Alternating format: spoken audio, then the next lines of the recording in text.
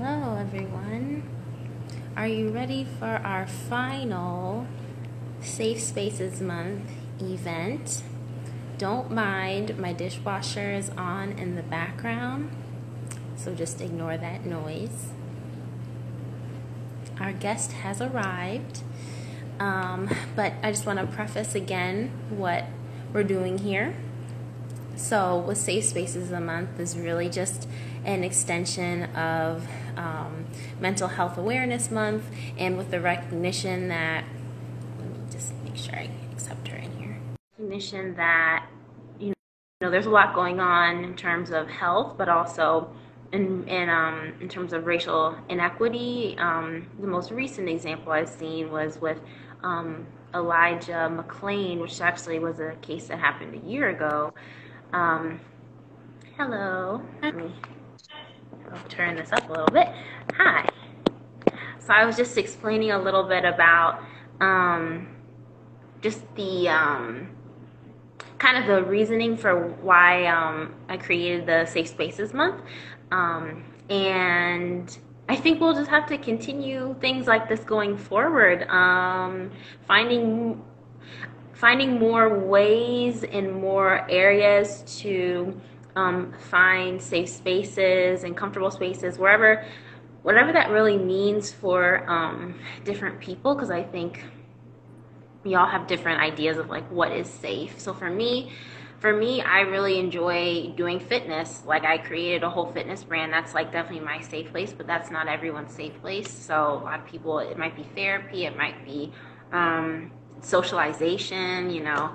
Um, so, so yeah, I think hopefully everyone can just find what works for them going forward because I just have this eerie feeling that we're in this for like a long road. Um, but I don't know who I was talking to, but they were saying how they feel like um, this time around with like with Black Lives Matter that we do have a lot more um, you know quote unquote allies um, on on our side this time around um, and I I can definitely remember Black Lives Matter back when I was in college in 2013 2014 and it was not the same um, how it looked not at all um, it was purely only black people and it was purely only a lot of younger black people it was you know, college age, um, early 20s. Um, and for the most part, I don't know if there was even a lot of support across the board. So,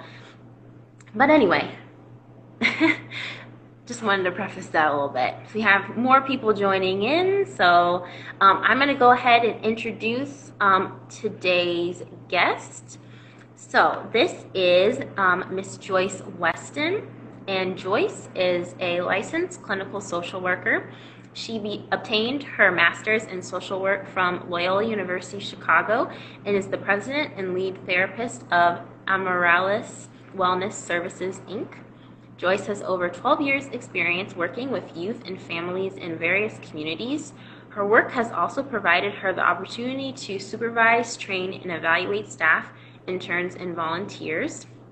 Joyce provides support to individuals, youth, couples, and families to assist them in weathering the storms of life, very similar to you know what's going on right now.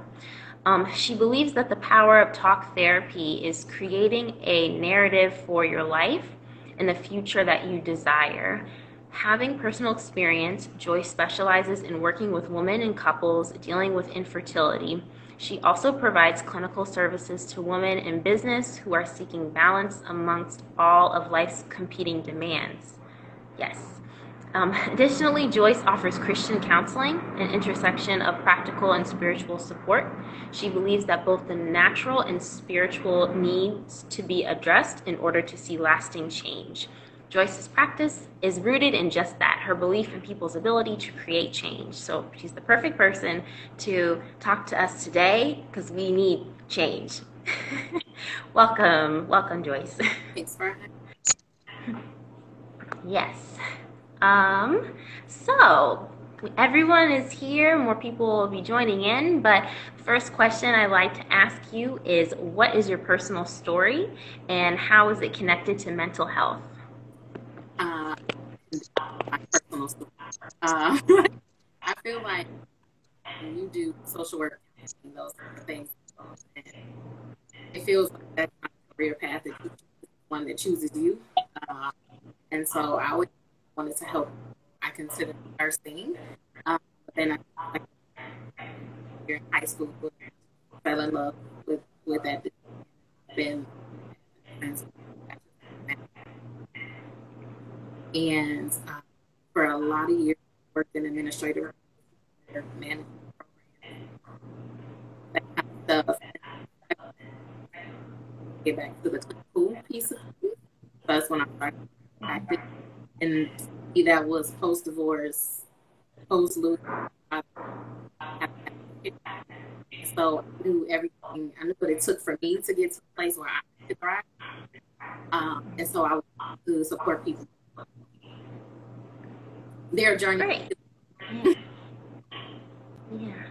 Um, and I don't know, and I don't know if it's just me. Um, it was it was breaking up just a little bit on my end. Um, and I know I don't know if it's just me. Can anyone else? Okay, I just wanted to make sure, just from the beginning, that um, everyone could hear.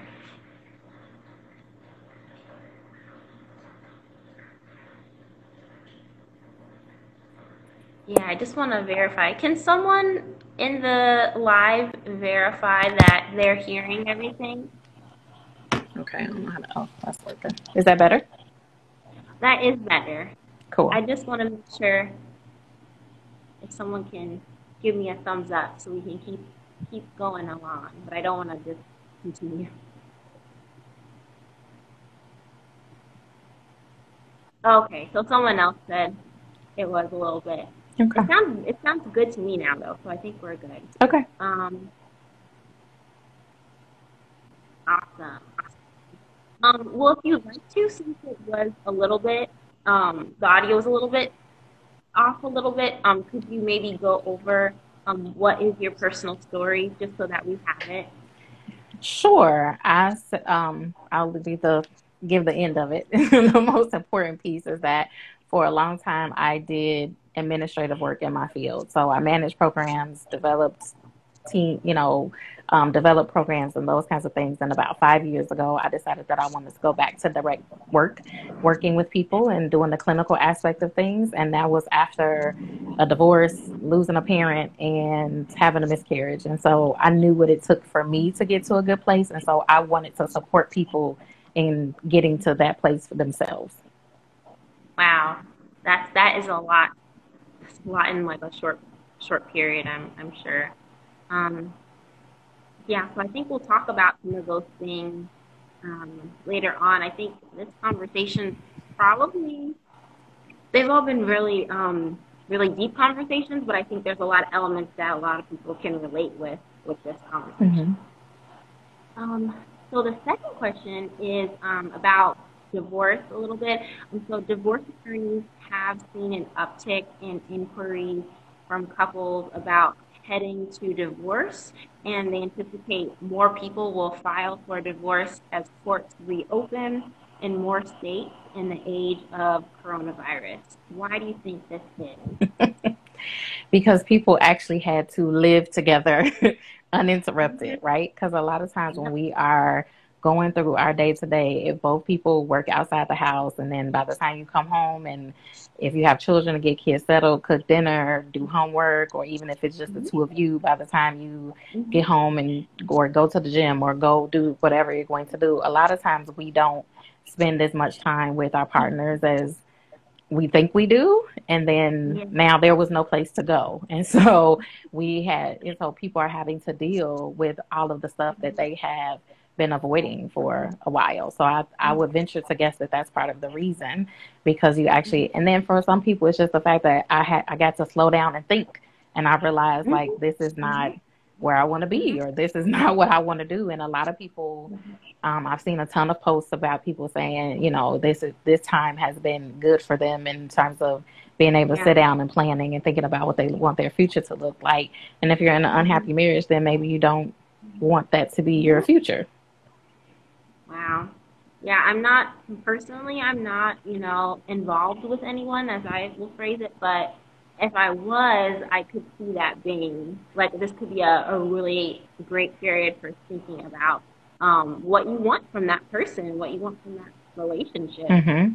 It, even friendships too. I wonder. I'm wondering if this is challenging friendships as well. Like, um, you know, who are you really reaching out to within? Like, maybe not so much right now, but like in March and April so you really couldn't go very many places. But who who are people actually reaching out to, and who are they um, maybe not reaching out to? Like that mm-hmm. that's an indication of maybe where you are with that friend. Yes, for sure. Um, we're all experiencing this, and everybody experiences it differently. And so, how we all handle it, and or you know, for some people, I think it's just a, and especially because it's not just a matter of being you know, sheltering in place, it's also, we've also seen a lot of, and especially depending upon where you work, and some people have been personally impacted by the virus. And for a lot of people, it's mm-hmm. like, okay, life is short. So now what am I going yeah. to do? Or who do I, or life is short. Who do I mm-hmm. want to spend this life with? Who do I want to have in my life? Mm-hmm. What type of work do I want to do? And mm-hmm. so I can see a lot of things changing for a lot of people. Yeah, definitely. So in that way, it's like, it's just such a hard, um, way to characterize it because like I, I mean I, I was telling you like I know people who are affected and I know people who have lost loved ones. So it's like I will never kind of phrase it in a way that's like, oh yeah, this is like some great thing. Um, but at the same time, it is helping a lot of people rethink about what what they want um, in in this short life. Mhm. Thank you. Um, and I think we'll also hopefully have time for this too. Um, okay, so third question. The isolation caused by COVID-19 can make us physically distant from people, but it can also bring us closer to each other. Have you witnessed this phenomenon? Well, I've heard a lot of people talk about that um, in various ways. So for some people, it's like the first, like the kids aren't going to practice, and you know everybody's not all over the place. So just for people that live in the same house together, you're spending more time together, and it could make you feel like, okay, we're closer together. We actually get to slow down. We actually get to have dinner together, and those kinds of things. But even for people that don't live near you, I've talked to a lot of people that have talked about being way more intentional and making mm-hmm. time for things um, mm-hmm. And for friendship, you know, I have, you know, I was talking to someone and she said, I just have more time to really check in with my friends and say, hey, how are you really doing? What's going on? And not just like the occasional text or, you know, just texting about random things, but to really sit down and have conversation. And some people have gotten really creative um, in terms mm-hmm. of like virtual, you know, brunches and, um, cocktail hours and all that kind of stuff just to really check in with people. I know uh, I had a student that shared with me that her and her family that this allowed her distant family um, to get closer together, and they were doing like things like um, a virtual bake off and those kinds of things, and just checking in on each other. And she was like, we developed a a family, um, you know, email chain and text message thing just so everybody can check in and make sure that everybody is okay. So it could help some people get closer. Yeah. I love to hear that. Like, um, I was talking to one of my colleagues, I don't know when, I think a couple days ago, um, and she asked me about, like, I think it was, oh, it was about Father's Day. And I had told her that, like, you know, we, in my family, we don't really do celebrations. We don't really have a big Mother's Day, Father's Day, honestly, Christmas. Like, we're really chill. Um, but how when I have my own family, I plan to like do more of those sorts of things. So it's good to hear that people are doing that and like really keeping that bond strong. Um, mm-hmm. um all right. See. Number four. So there's ten questions. So get those. Um, COVID 19 is expectedly impacting relationships for couples, particularly for young or newly formed. What can couples or you know people in um, relationships do to save their relationships in these times? Um, I think people have to check in and be honest, um, which is something that I think that one of the things that I talk about when I do couples work all the time is that we make a lot of assumptions, right? So we mm-hmm. and what we do is we hold our partners accountable for things because we feel like, oh, you know me, you should know that, or that's, mm-hmm. you know, I've heard so many times, well, that's just common sense, or you should know this. But but what we're doing is holding our partners accountable th- for things that we've never asked for, right? And so it and it can be something as simple as saying, "Hey, how do you feel like things are going, or what's a concern for you? Um, what do you feel like is working? What do you feel like isn't working? Let's figure out how can we." And I'm, I, I don't know any other way to say it, right? But how can we negotiate some terms here, right? Because I may want one thing and you may want something else. And so, but we have to figure out what's the middle ground. And sometimes it's just a matter of hearing our partners and saying, oh, I didn't know that you needed me to do more of that, or I didn't know that that works your nerves, right? And so, and being able to have those honest conversations and checking in and just saying, hey, because so oftentimes we're like, I hate it when you do this, or I need this. And, and mm-hmm. sometimes we have to check in and say, well, what do you need? Or how are you feeling? Or what's going on? Mm-hmm. I think the um, other. Really, oh, go ahead. Oh, sorry. No, go ahead. Go ahead. Mm-mm, you go. No, no, no. I want you to finish your thought. I thought you were done. I was going to say the other thing that I wanted to say too was learning to speak and interpret each other's love languages. And so mm-hmm. um, I think we have to be very intentional about that because a person can be loving you in their own way, right? But if that's not my love language, I don't mm-hmm. receive it that way. You can mm-hmm. think I'm doing everything right, but I'm like, that's not what I need from you. We're oftentimes we're doing what we want to, you know, we're doing what we want to do or what we think is best, but that's not what the person needs, right? Because you can, since my love language is um, words of affirmation. So you can buy me gifts and send me flowers and do all of those things, but if you don't say, if you don't encourage me, if I don't feel, you know, supported and you don't, you know, say certain things for me, then I'm not feeling loved. Right. I I think I heard that once, but I always forget. That's kind of what I meant um, with the um, a question that's coming up. But I like the way you phrase it as love languages and how everyone has kind of their own. So I guess everyone has their own, you know, communication method, but also that could be very different than mm-hmm. their love language. Um, oh yeah. So I was gonna say, I don't know why. I think it's because in preparation for this conversation, but um, I started watching Married at First Sight. And what's interesting about this um, is the all the people on there, they're like within my age range, and so that took me back because like there's one person. Um, I'm not gonna name names. I don't you know they're on TV, but anyway, the one person he said he wanted to be married since he was 22. And I thought that was like, whoa. And then all the other, so basically, if I'm talking specifically about the black couples, they're all, I think, 27 or like they're like 27, 28. I'm like, I just turned 26. My brain is not in marriage right now. I'm like, but they're like so settled. They're like, yes, and this is what I want. And I'm like, I have a lot of work to do in one year to be at their level. Um, but but yeah, that was just like a, a tangent. I was really interested to see like they were they're literally the same age as me, but they're mm-hmm. ha- they're ready for that commitment. Yeah, or so they think, right? I guess so. I haven't finished. I'm on like I'm. Oh, is it? I think yeah. I, I have a lot of more episodes to go, but yeah. Okay.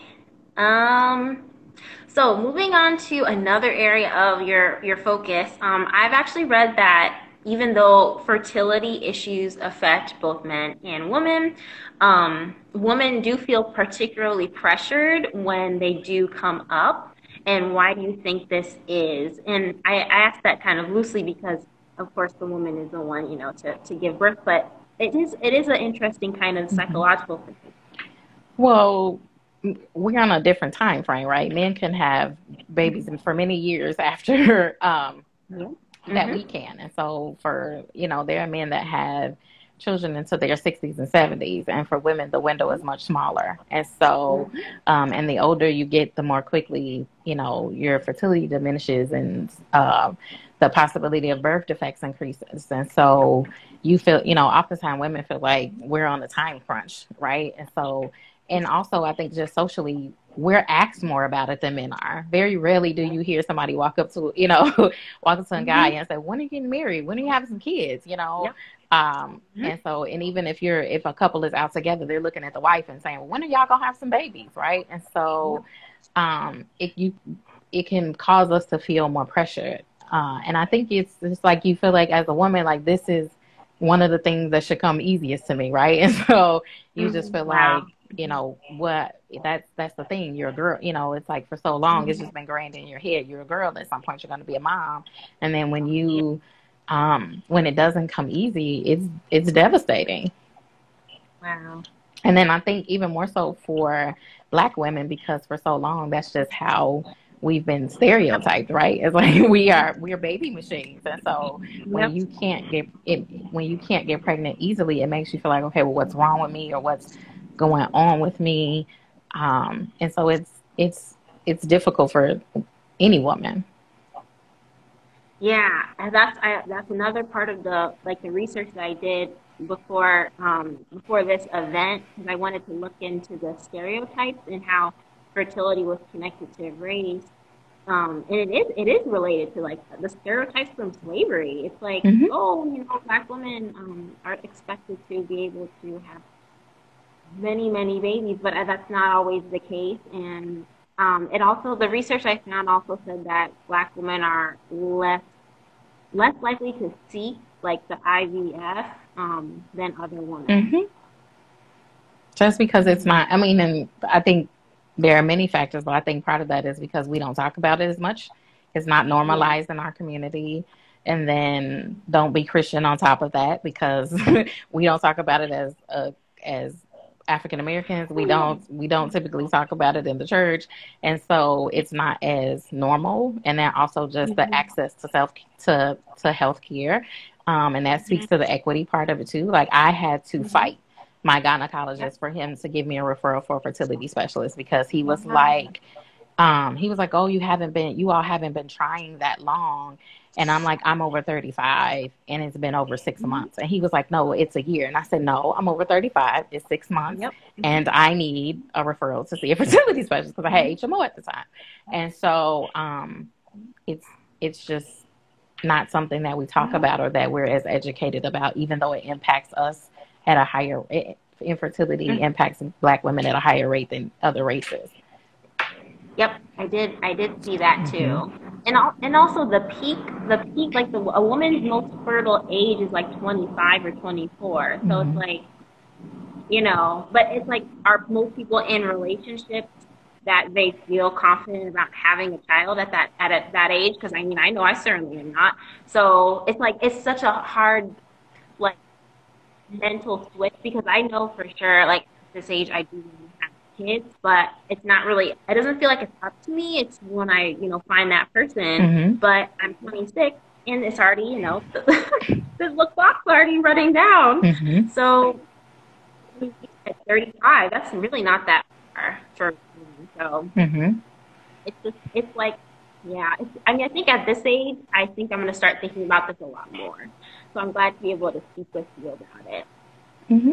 And I've made it part of my life's mission to talk about it, to make it a conversation that we have in our community, to make it a conversation that we have in the church, to make it a conversation that we have with young women.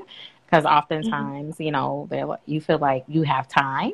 I'm like, well, just mm-hmm. go, just go get a fertility checkup and see what's happening. Um, and a lot of times, our counterparts will freeze their eggs, and we don't think about that or talk mm-hmm. about that. And so, I mm-hmm. tell women to consider that as well. Yeah, I didn't. I realized I didn't ask the question specifically about like the like the faith element. I don't, or my, I think I put it at the very end.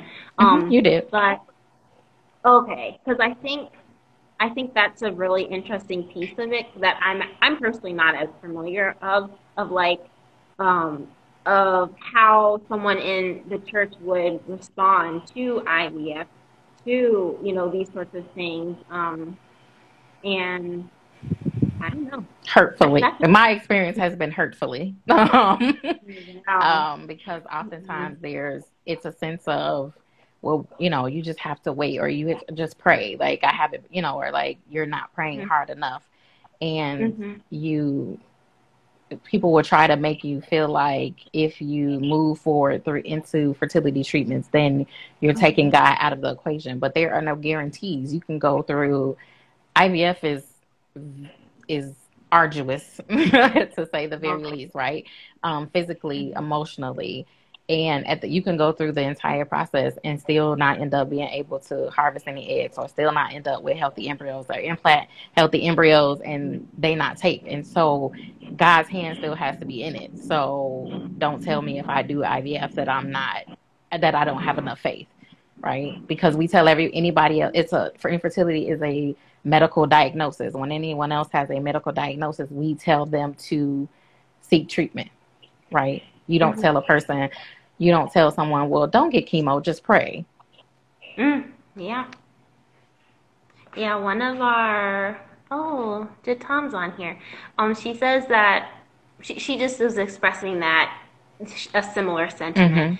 Mm-hmm. Um, but but yeah, I mean, I think it's something for me to look into because I mean, I would want to be accepted regardless of the that of the decision that I make. Mm-hmm. I think um, especially if I make it like I'm actually, you know, I don't want to put all my business out, but like I'm actually very traditional. Like I, I kind of envision, um, you know, being married and and then like maybe waiting some time, getting to know that person, and then having kids. But mm-hmm.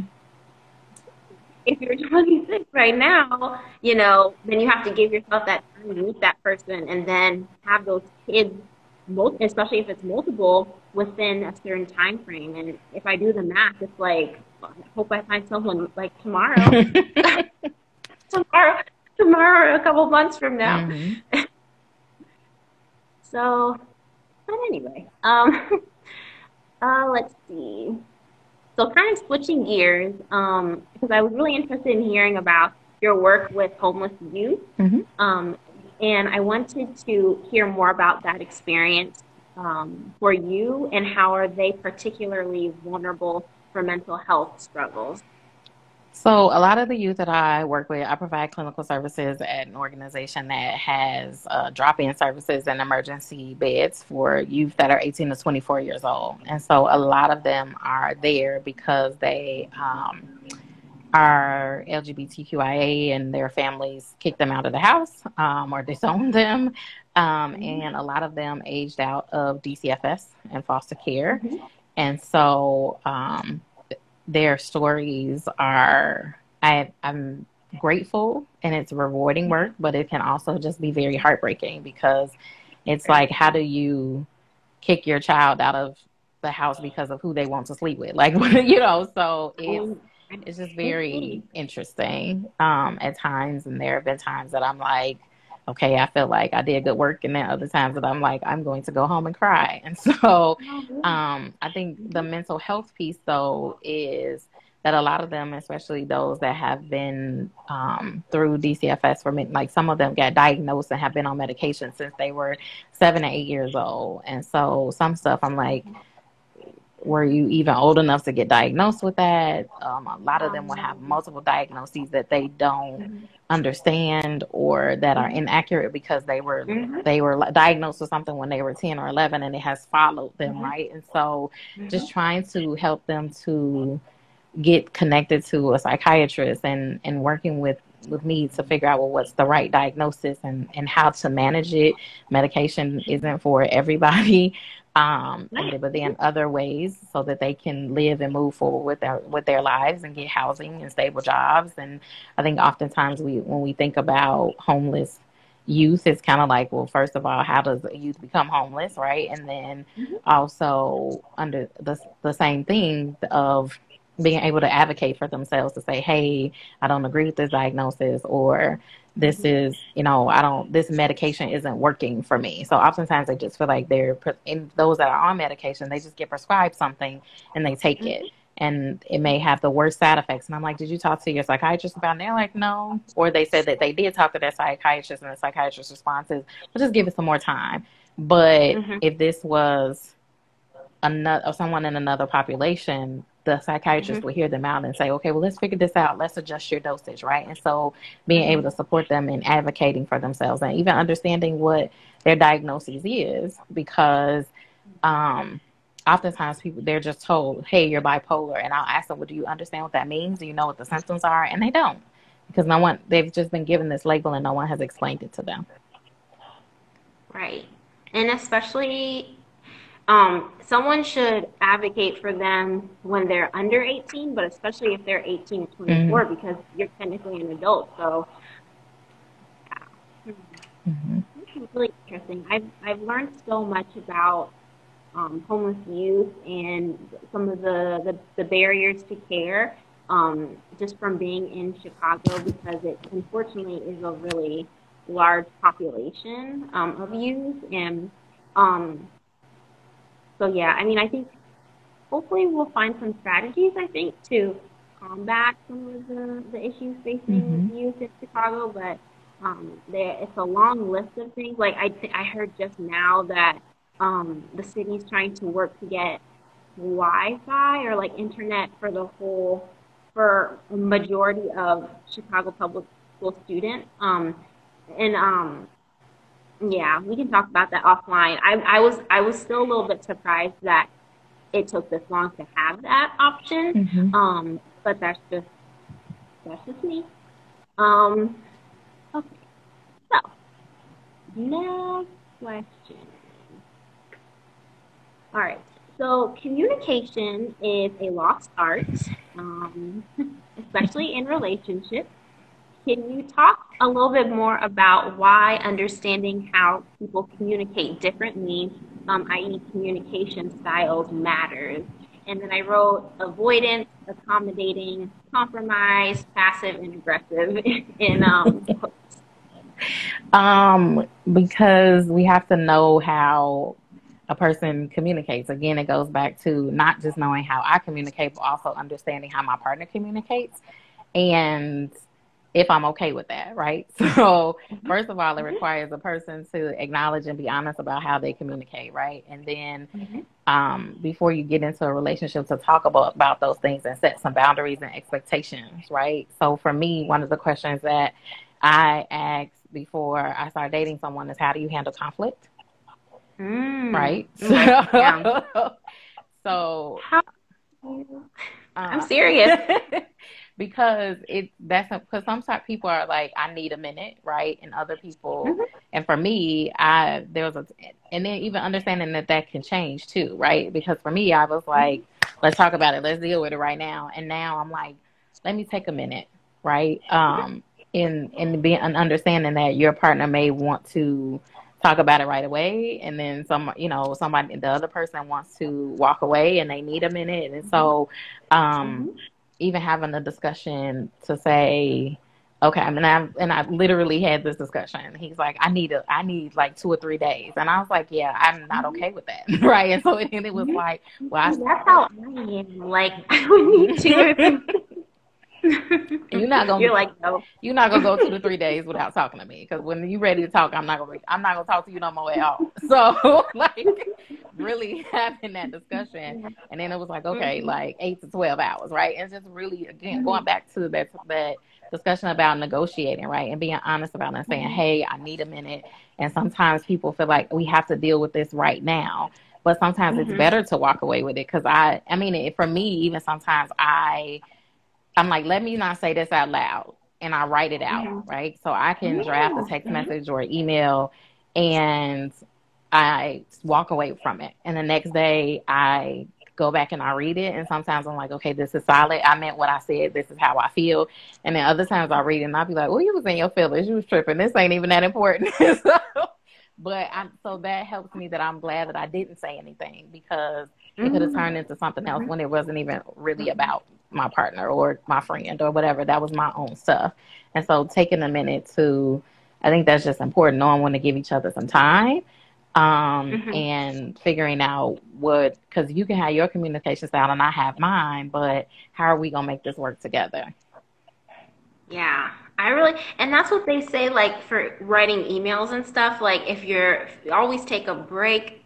Like if you get if you get an email you don't really like, take a day or so. But technically, that's the same. It should that's the same way it should be for relationships. Like if there's a conversation that makes you feel charged in some sort of way, like take a step back and maybe write down what you're feeling and then edit it a little bit um, mm-hmm. and see like okay like a couple of hours later i never think about you know using a similar practice to to really like work honestly for relationships because i mean it, they're all relationships yeah because i mean the other thing that we have to remember too and why we want to be careful with communication is because I can remember as a little girl, my mother, we, me and my sisters would do something and we say, I'm sorry, mom. And my mom would say, don't be sorry, be careful. Right. And so the older I've gotten, I realize the importance of that because you can apologize mm-hmm. for some behavior or something that you said, mm-hmm. but you can't take it back. Right. And so we want to be careful about what we're saying. So, and then mm-hmm. also, because we know what we want to say and we know what we meant but that's not always mm-hmm. how it lands on our partner's ears, right? And so it's not mm-hmm. just about communicating and saying, well, we talked about this, but did we have effective communication? Did you walk away with the same understanding that I walked away with? Yep. Yep. This is everyone who's in here. This is a this is a free lesson. This is this is these are real nuggets of wisdom. I'm taking notes. I'm yeah. um Okay, so we are moving right along. Um, we talked a lot about communication, um, and now we can talk a little bit more about equity. We talked about equity as well. Mm-hmm. Um, but but how is equity in creating safe spaces um, very important for your work? Um, it's super important because just in general, I feel like we have to get to a place where we understand that being healthy mentally and emotionally is just important. Is just as important as being physically healthy right? And so making sure that when we're talking about funding um, for certain programs and insurance coverages um, that mental health is right up there with everything else right? So because some insurance plans will cover and even medicaid it's like okay you'll cover an abortion but you won't cover therapy you know? So it's just like yeah. those kinds of things um, to make sure that yeah right. So but to just make sure that we are that we understand how important mental health is. And then another reason why it's important too is because you want to make sure that oftentimes the therapeutic process works better when you when you are sitting with someone who understands your experience right and so and that can be multiple things so most of the mm-hmm. time um, I've, I've like one of my friends, he said that he saw, a, um, like his insurance just, he just went to the therapist that his insurance sent him to, and he's a black man. He was a black man in his thirties, and she was mm-hmm. probably a white woman in her in her fifties or sixties, and he was like, I felt like I was interpreting what I was trying to say the whole time. Like Rackers couldn't say oh, wow. what I wanted to say, and my therapist understood what that meant. And so, just making sure part of the equity in this field too is is making sure that whoever you're seeing is culturally competent um, or even understands what it is that you want to work on. So part of the the other reason why I started my practice and why it's part of my practice is too because when I started looking for a therapist to process my fertility challenges, I could not find anybody in the city of Chicago who looked like me who did that work. Wow. They were all white women. Wow. And so I was like, okay. I'm, wow. I want to fill in this gap that blows my mind, especially because it's a large it's a large city. Mm-hmm. That goes to show it's not you know, wow, mm-hmm. that's so interesting. Um, yeah, I mean, I think it's important just to have people who look like you and people who know your experience as well. Mm-hmm. Um, because like the more that we we like, I I don't know. I think these conversations about diversity um, and, and, inclusion and these things. Um, now that we're facing a lot of um, attention to, you know, diversity and inclusion, I think we have to be really specific about like what we mean. Um, and, you know, I think that like there's there's so many levels to it. Like, for example, if someone wanted to talk about, you know, a fertility concern um, that they were facing, I think like you could talk to a black woman or you could talk to a black woman maybe within your age range who has a background that is like similar to you. I think there's like just so many levels mm-hmm. to Yeah, for sure. Yeah. That's like one thing. Like the more that I see more and more conversation around um, diversity, equity, inclusion, and like belonging, um, I hope it doesn't become lumped into one one like large, um, you know, uh, area because there are a lot of nuances to it. Yeah. And I think you have to give people like the, um, I guess you have to be respectful to everyone's experience and like. I think that's something that I try to do. Like I, I, I respond to things when I feel like I have a background and understanding of it, and if not, then I just make sure I'm learning. Mm-hmm. Um, but but yeah, that's like one of my main fears going on right now because there's all this attention to it, and I'm like, right, that doesn't always mean that we're gonna really attend to all of the needs. And I think we as like black people, I think we understand what we need, but I don't know if like the large um, consensus of everyone, like I can't, I don't want to. I don't want to just leave it to literally one sort of corporate model Mhm. to Yeah. Yeah, and it looks different in different areas, right? So, because what they label things as, or what you're focused on in higher ed versus what you're focused on in corporate America versus when you're talking about healthcare. And I think a lot of Mhm. people don't really get, like, they get equality and equity confused. Oh, Um, still, yeah. so um, we're not just talking about equal, you know, it, it's equity is different than equal, you know, just giving somebody the same amount, right? And so um, Mhm. understanding what that looks like. And then, like you said, being very careful about, okay, when we talk about inclusion, who are we talking about and what's our focus? Mm-hmm. Because, like for me in mm-hmm. social work, oftentimes my frustration is when people talk about diversity and inclusion, it's like all people of color and mm-hmm. LGBTQ community. And I'm like, no. you know, Yeah. and so those are separate issues, right? And so um just have being able to have that conversation though and understanding that you can't just address it all because all of the issues are different. Um Yep. so that's I think that might be one of the first steps that we have to make, you know, we have to make clear what what are, what are we doing and which populations are we talking about. Definitely, definitely. I know that's something that I personally had to really dig into when I created Communicate for Health Justice because I wanted to attend to like everything, but I have to find the niche and I have to know when to segment because that's actually part of communication. Like they literally taught us that in school, like how to segment your audience. And so um, it's it's a challenge, but um, it is important, or else you end up like literally lumping everyone Mhm. together.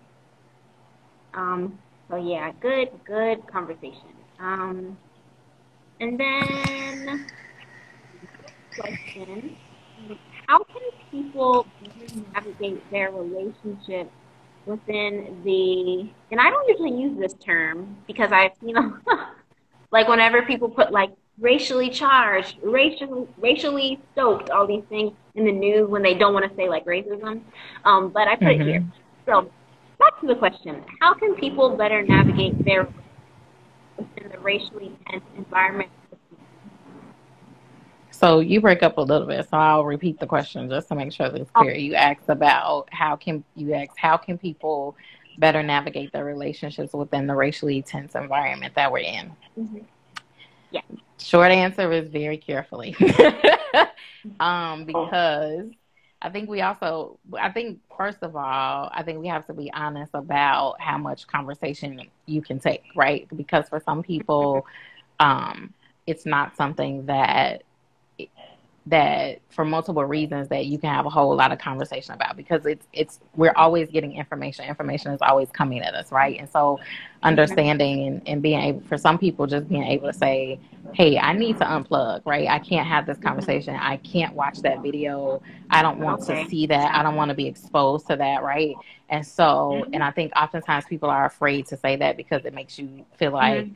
You're bowing out of the discussion, but really it's like I am protecting my own mental health, right? And so, Yeah. but then when you do have those discussions to understand that we are all, we can all experience these events, but the impact on it for us is different, right? Because mm-hmm. how all of this impacts me and my in and my experiences may look different than somebody who it may be somebody who is the same age and a, an African American woman just like me, you know, but they still may experience it differently just because of yeah. where they grew up or the relationships that they have, right? And so, not assuming that we're all going to feel the same way about it, not assuming that we're all going to have the same opinions as to how to address the issues, right? Because some people mm-hmm. are like, um, peaceful protests, and other people are like, mm-hmm. well, let's burn everything down and start mm-hmm. over. Let's show them that mm-hmm. we're serious. And then I hear a lot of people like, well, what are we doing? What are we asking for? Who's strategizing? You know, and so mm-hmm. everybody's not going to be on the same page. So understanding that if when you have these discussions, that you have to be prepared for whatever somebody's response is, and they might not agree with you right? Um, and it also might expose some stuff, right? I've seen a lot of people on social media talking oh, about yeah. I unfriended mm-hmm. people, I unfriended mm-hmm. people on social media, and I unfriended people in, in real life, right? about everything that's mm-hmm. happening, and so you have yeah. to be um, prepared for that, right? And then in in some mm-hmm. relationships, we just might not. We may we may decide that it's okay to not talk about it. Um, and sometimes we got to have some hard discussions because I imagine people that are mm-hmm. in biracial relationships are mm-hmm. are are having some interesting discussions right now, right? so even mm-hmm. you know, um, it's a lot of it's a lot of different ways that it can go, and I think you have to the person that you're talking to, you all have to figure out how deep do we want to go, right? Mhm.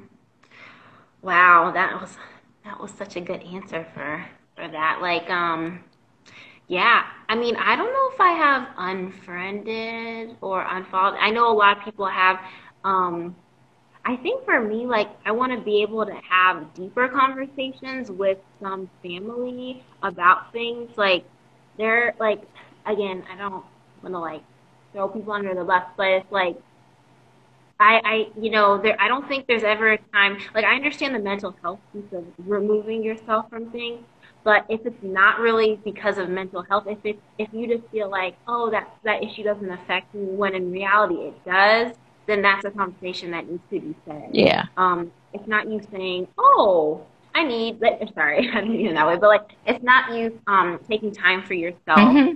It's it's like you know, just if, if one person is, you know, treated miserably and like this this one young boy you know, who who was murdered last year, um, Elijah uh, McClain, like, you know, just because I didn't know that person doesn't mean I can see like, okay, let me just go on with my day because I have XYZ. And like, I just feel like I know a lot of people um, like that. And I think we just need to have some deeper yeah. conversations, um, especially like now that I feel much more confident with you know my my um, my voice and my understanding of things. Um, but yeah, but yeah. I think we, yeah. I mean, I'm, and not to say that we shouldn't. I think sometimes we have to challenge people too, because oftentimes it's like if it if if you haven't been directly impacted, you know, even for mm-hmm. some people, like even with even with everything that's happening with COVID, right? There are some people mm-hmm. that's like, oh, it's still it's still it's a farce it's it's a made up thing you know but let someone in their family pass away from it then it's like oh wait a minute this thing is real right and so mm-hmm. oftentimes mm-hmm. we feel like if it doesn't directly impact us then it doesn't mm-hmm. impact us you know what i'm saying so when when we begin to understand that what impacts our community impacts us right because just because i no longer live in this in, in an area where these things happen doesn't mean that it can't happen right or that right. it won't it, that it you know i think sometimes when you know people are like well i that won't happen i live in the suburbs or i live in a safe right. area and it's just like but when you're driving down the highway or you're on vacation or mm-hmm. anything else like this still yeah. impacts you and even if it you don't feel like it impacts you now and for a lot of women it may just feel like well that's you know that's that's the men right but you what about your son what about you know and so mm-hmm. even talking mm-hmm. to because i challenged a friend of mine that he mm-hmm. is not african american um mm-hmm. but he he's here and i'm like you know and so we have a lot of discussion around that um but you, i'm mm-hmm. like you are african right you are from mm-hmm. the continent of africa but do know when anybody besides black people and and maybe a few other ethnicities look at you. They see they look at you and they see a black man right? And so this is so even though you're like i'm not black it's like you know you also have to mm-hmm. understand how you perceive what your experience is and what that's going to look like for your kids right?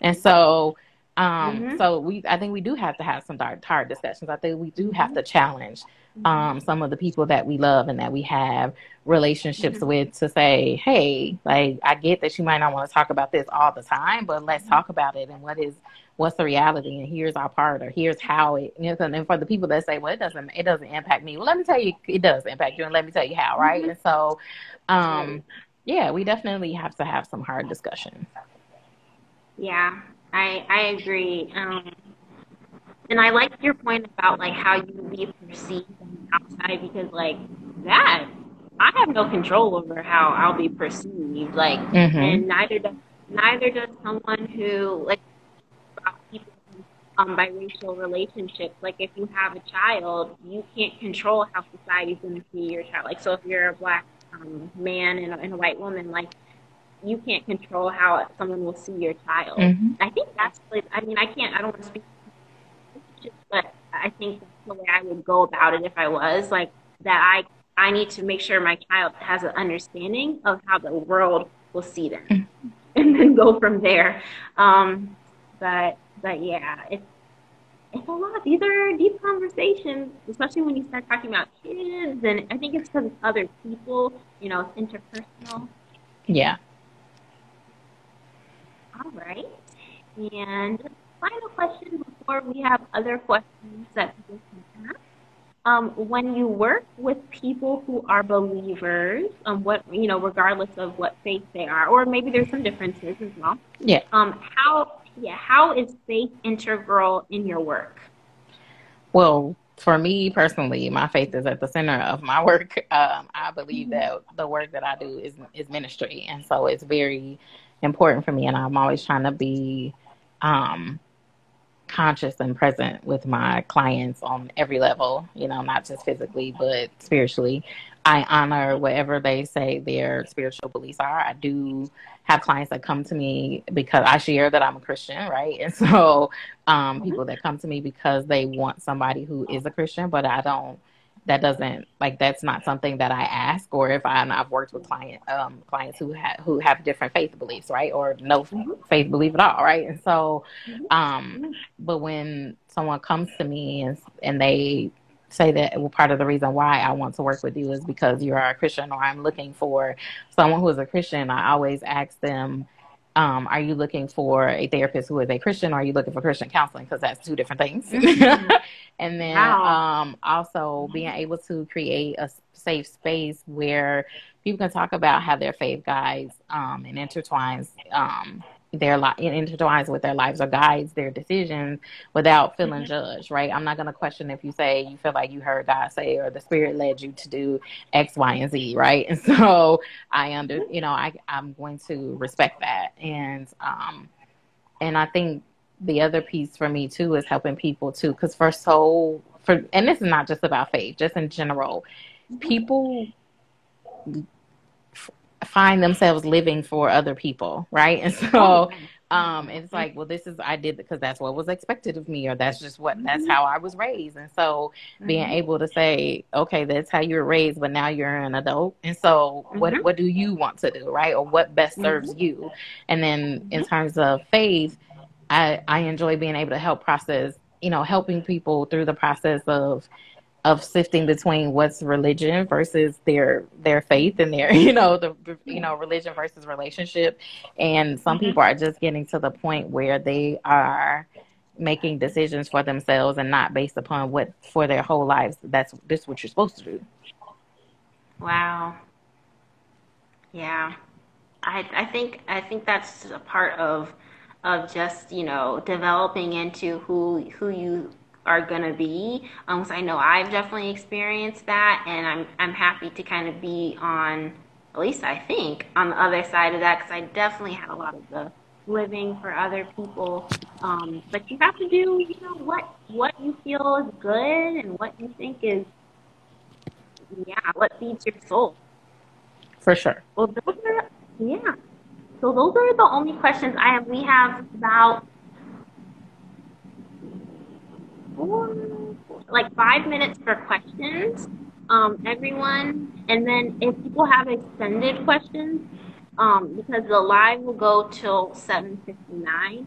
So what we can also do is I can restart it now, and then we can rejoin and then have a question session. Um, but it just depends on you and your flexibility in, in the questions that come in.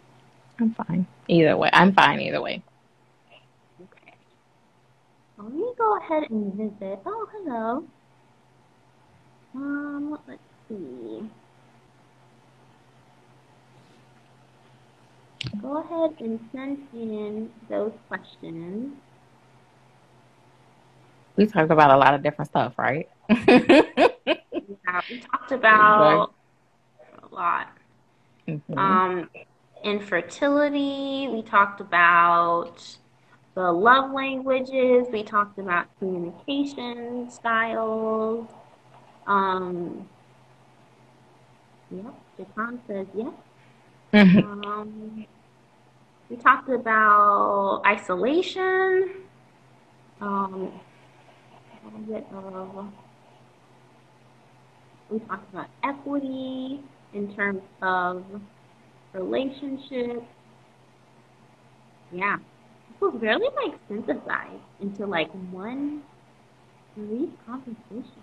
Yeah. I mean, because we also have to remember too that all of the things that we're experiencing right now is, or anytime, all of the things that we experience are going to impact our mental health. um, so I think that it, it makes sense. Um, Yeah, and Definitely. and again, whether we want to acknowledge it or not, because some people have like they didn't get laid off, you know, and they're able to work from home and they enjoy being at home, and it's just like, oh, okay, this is working. But other people, this is all of the Yeah. things that are happening have been really hard, you know, for people. Yeah, I don't know. I haven't really encountered too many people who like have been totally unaffected. Um, and I, it's funny, like if I think if I was not like if I was, you know, back in Virginia, I think it would be so different. But who I'm interacting with now, like it seems like every single person I talk to, it's like, you know, they had a family member suffer, you know, they, they know someone who else had it, there was a, a job loss, like there's just so many things. Mhm. Um, and yeah, so I mean, I, I, I think I think there's a, there's a level of gratitude um, that like I think I'm experiencing, and I hope a lot of people are experiencing um, because there is a like even if it's kind of closeted and it's kind of put away, there is a lot of suffering I think going on um, that at this point might not be covered by the media, but it is happening, and Yeah. I just hope we remember that. Yeah, and again, even if we're not directly impacted or whether we realize the impact or not, right? So for me, I've been blessed to not have, you know, any of anybody in my immediate family that's that's been impacted by the virus and, you know, my nieces and nephews and loved ones and, you know, sisters have continued to work, right? And so um, but just still hearing the stories and seeing all the things on the mm-hmm. news, and I think just the the saddest thing for me is just knowing that people are very sick and alone, and you know it's mm-hmm. impacted. e- And even if you didn't have a family, even if you lost a family member and it wasn't for the virus, still even the way we are mm-hmm. able to, the way that we typically grieve and celebrate life has to mm-hmm. look very different, right? And talk and people having to Right. choose which 10 mm-hmm. family members are going to go to a funeral. Like, who wants to do that? And those those kinds of things. It's still whether it's directly related to COVID or not, your impact, your life is still impacted. Even from the way that we bury people to the way that we celebrate life, right? Nobody's having birthday parties. You know, I know, it's, you know, one of my friends had to cancel her 35th birthday party. Another friend had to cancel her 50th. And so it's just like, you know, every, we're, you know, we're all impacted in some way. That's a great point. I didn't even think about that. Like, there's a difference between kind of the health effects and then, you know, how it's inter interrupting just mm-hmm. general kind of life. Right. So yeah. Well, I'm not seeing any questions in here. Okay. So, um, if anyone has questions, please feel free to send them in. Um, you can follow. Oh, my, my countdown has started. I have 30 seconds. you can follow Joyce. Is it It's at AW, AWS Full Bloom. AWS? Cool. hmm Well, I appreciate this conversation, and I'm sure everyone else did. Um, and just thank you for being here. Thanks, Chelsea. Thank you very much. Bye. everyone.